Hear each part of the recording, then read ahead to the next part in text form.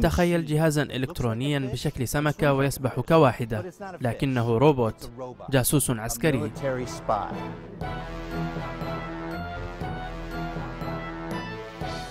البحرية الأمريكية تسميه مشروع نيمو الصامت. المعروف أيضا باسم السباح الشبح يتم تطويره حاليا في قاعدة بفرجينيا الروبوت بطول خمسة أقدام ويزن 45 كيلوغراما. يمكن تحريكه عبر ذراع تحكم أو يمكن برمجته مسبقا للتحرك تلقائيا. التصميم مستوحى من سمكة تونة ذات الزعنفة الزرقاء ولأنه يبدو ويسبح كسمكة فإن البحرية تعتقد أن الروبوت سيتفادى بسهولة أجهزة السونار المتطورة.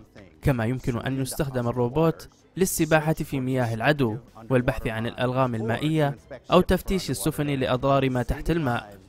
إنقاذ أرواح الناس من خلال القيام بمهام قد يقوم بها أناس تحت الماء في حالات أخرى.